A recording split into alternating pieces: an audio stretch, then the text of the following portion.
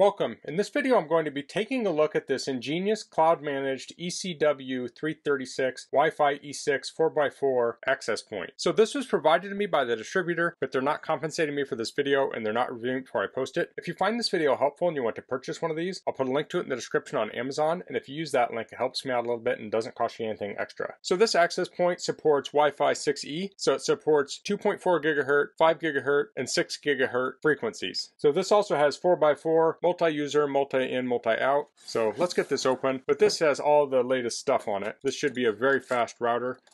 The Ethernet on it is 5 gigahertz PoE+. plus. Pull that open. It says plug and play with zero configuration. So this is a cloud managed access point. So it makes it super easy to manage this. These cloud managed access points are great for businesses. So say you have a chain of coffee shops and you want to have Wi-Fi in them, you can set these up in your coffee shops and then you can manage them all from the cloud. Of course, these would also work well in things like hotels, businesses, schools, anywhere where you're going to have a large Wi-Fi network. Let's pull that out. Let's look at the bottom here. So on the bottom we have some keyhole slots so you can mount this on screws. We have a reset button. We have a 5 gigabit PoE LAN port and a 12 volt DC port. Here's something about, uh, I think it's EU regulations and such. And here we have a manual or a guide. So this talks about the package contents, which we've mostly gone over. We have the access point, we have the installation guide, mounting bracket, screws, and the T-rail mount kit. So you want to register this in the cloud. You want to connect it to your internet. You can mount it. You want to get the app and then you can scan it. And I'll go over all this. So let's look in here. This is going to have the mounting bracket. So we have some screws and anchors. Then we have two brackets here, and these are for different sized T-rail. So that would be for like drop ceilings and businesses. You can clip this onto it. You actually kind of rotate it on, it will clip in place, and then you can slide the access point over that. Now, if you don't have T-rail, you can just put some screws here and mount it to a ceiling. So once this is installed, you want to line it up like this.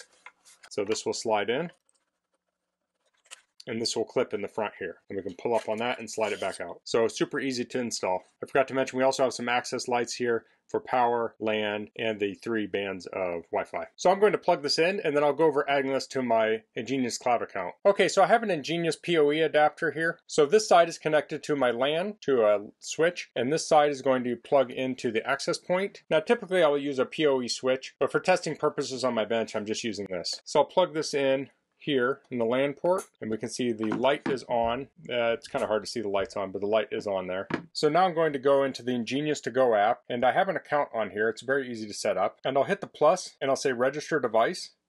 So it wants me to scan the QR code. So I'll turn this over and I'll scan the code. So that was super fast. I'll hit register. It says name the device. I'll just name it ECW336. Typically you'd want to give it a better name. I'll say assign to network now.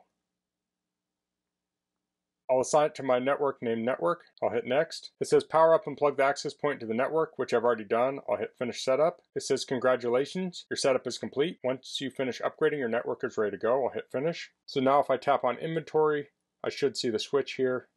So I see at the bottom ECW336. Okay, so that's all set up. I can connect to this now. But since this supports Wi-Fi 6E, it supports 6 gigahertz networks. So I want to test that. The easiest way for me to do that would be to create a separate access point with only 6 gigahertz on it. So I'm going to go into the web interface to do that. So let's head over to my computer now. Okay, I'm on the EnGenius Cloud site. It's cloud.engenius.ai slash login. I'll hit sign in.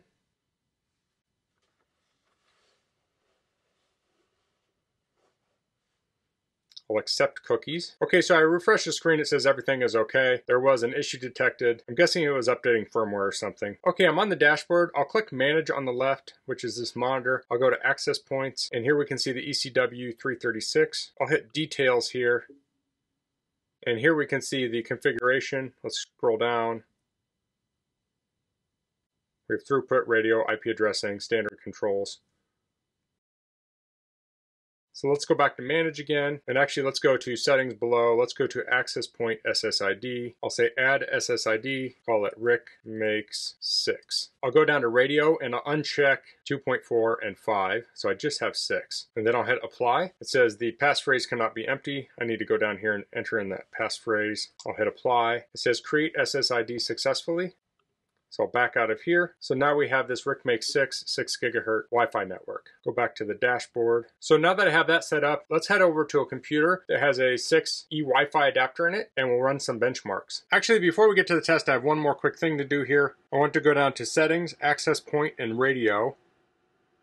Then go over to 6G and change the channel width to 160. So I've already done this, it was at 80. But to get our maximum speed, I need to have this up to 160. So let's get to the test. Okay, so I have a lot of things set up here for the test setup. So we have the access point here. Now I had this plugged into a PoE injector, but now I have it plugged into a switch and I'm powering it with a 12 volt adapter. So the switch I'm using is an EnGenius ECS 2512. This is a 2.5 gigabit switch. This will support up to 5 gigabit ethernet. So I have it hooked up at 2.5 gigabit to this switch. My PoE injector did not support 2.5 gigabit. So that's why I'm powering it with this adapter right now. So if I was mounting this somewhere and wanted the higher speeds, I would probably not use a power adapter. I would probably get the PoE injector or the switch that would be faster. So this switch is hooked up to the internet, which is gigabit ethernet. It's also hooked up to this network attached storage. On this is a speed test software that's on my LAN. So this NAS and the access point are connected through the switch to each other at 2.5 gigabits. Over here we have a Tower PC. This has an M.2 Wi-Fi adapter. It's an Intel AX210. So let's focus in on the screen back here. So right now I have it hooked up to the 2.4 gigabit network. I'll run the speed test. Now these are only about two foot apart from each other. So this is not the most ideal conditions for testing this as far as range. I'm just testing kind of the max speed I can get out of it right here. Now 2.4 gigahertz is congested where I'm at. So there's probably many other 2.4 gigahertz networks around here. Okay, so we got 106.8 download and 98.2 upload. So that's very usable for a lot of things. I mean, you can stream movies and stuff with that. But if you're dealing with video or large files, you probably want something faster. Okay, so now I'm connected to the 5 gigahertz network. I'll refresh the page, start the test again. So on 5 gigahertz, you can see I'm pushing near gigabit speeds here. I'm running up right up against gigabit speeds. On the download, I have 990 on the upload, we're a little slower. Looks like we're going to end up at around 750 or so. Now I have sped up portions of this video when I'm not talking just to speed it up, but the test is run all the same. So we ended up at about 730. So that's on 5 gigabit, so that's pretty impressive. So let's switch over to the 6 gigahertz. I'll refresh, I'll run the test. Okay, so now you're really seeing the speed out of this thing.